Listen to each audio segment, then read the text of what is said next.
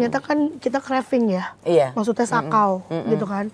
Sakau. Jadi terus apalagi kalau gue ngerasa gue mulai makan, mulai gemuk, gitu, mulai gemukan lah gitu naik. lagi, Heeh, ya. Jadi inian lagi terus gue balik lagi ke situ gitu. Nah jadi akhirnya dari situ juga dokter kasih arahan juga sama mama bahwa ternyata Dawia tuh trigger terbesarnya adalah karena Oh, eh, oke. urusan fisik Iya, iya. gitu. Ada Maksud- tekanan dari ada, situ. Ada Iya. tekanan dari situ. Jadi coba deh untuk di loss dulu aja, maksudnya dibiarin aja dulu Iya, gitu iya, kan. Dan ke, eh, apa namanya? Dan dari situ baru begitu gue udah keluar, gue udah maksudnya udah berobat dari RSKO itu, Iya. baru terus gue mulai Mama kan dikasih tahu sama kakak Tria gitu kan, Iya. Umi jangan terlalu inilah, udah biarin Iya, aja. iya. Sampai aku di, sampai aku nginep di rumah kakak Tria tuh berbulan-bulan, pulang dari sana tuh diinepin di rumah kakak Tria, maksudnya supaya dia nggak, aku tuh nggak denger yang gitu-gitu Iya, gitu. iya, jadi bisa lebih tenang sedikit. Heeh. Kalau anak sekarang bilangnya healing. Yes.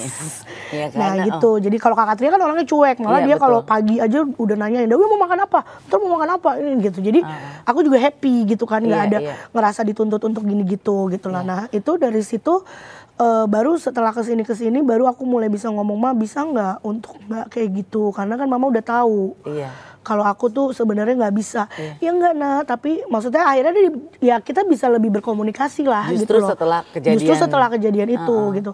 Maaf ya ma aku bilang aku tuh selama ini tertekan dengan hal itu Hmm. tapi aku nggak bisa ngomong sama mama. Gitu maksudnya nggak bisa untuk bilang mas stop atau Argue apa gitu. atau aku apa lebih ke gitu, iya. marah gitu lebih ke yang kayak eh, akhirnya yang kacau deh gitu jadi jadi malah ngerusak diri gitu loh Iya, iya. maksudnya karena aku nggak kuat dengan tekanan itu tapi aku nggak bisa ngeluarin gitu Mungkin Umi waktu itu nggak merasa bahwa lu tuh tertekan ya? Enggak lah, Umi karena kan ngerasanya aku- bahwa lu menerima dan akhirnya mencoba untuk ngelakuin yang sesuai Iya. Umi mau di saat itu, iya, kan? Dia Gitu. juga berpikirnya begitu gitu loh.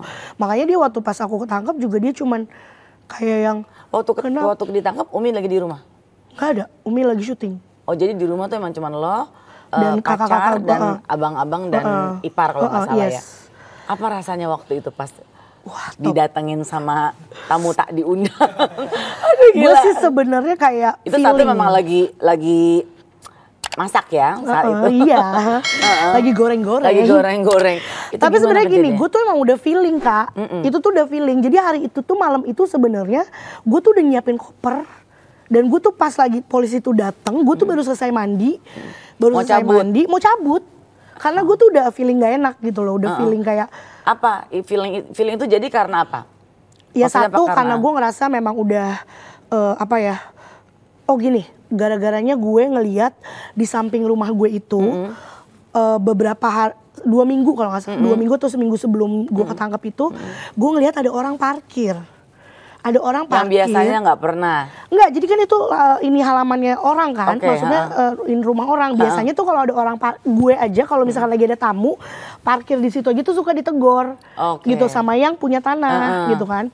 Nah, kok gue bingung nih orang kok uh, dia parkir di situ, terus dari jam 12 sampai jam setengah lima pagi, dia buka laptop di dalam Aneh sih. gitu. Heeh. Terus gue mikir kalaupun emang di orang skripsi ngapain Di dalam gitu kan di mobil, dalam mobil iya, iya, gitu. benar.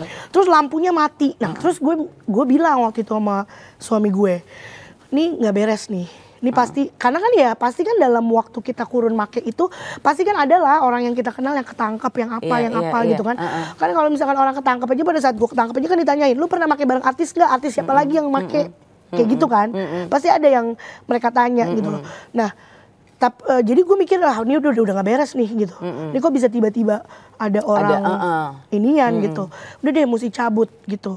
Cuman salahnya tuh nggak ya emang udah waktunya sih gitu. Iya, Cuman saat itu memang pacar eh, si suami gue ini Iya. sempet keluar gitu loh. Oke. Jadi begitu balik dia udah di gap duluan di Memang depan. udah untuk dijebak di situ ya. Heeh, Oke. Jadi wah udah deh ya udah emang udah waktunya gitu. Iya. Nah pada saat kejadian itu kan Umi harus tahu ya. Ya harus tahu dan karena Enggak, memang. tapi dikasih tahu tuh setelah udah beberapa hari ya.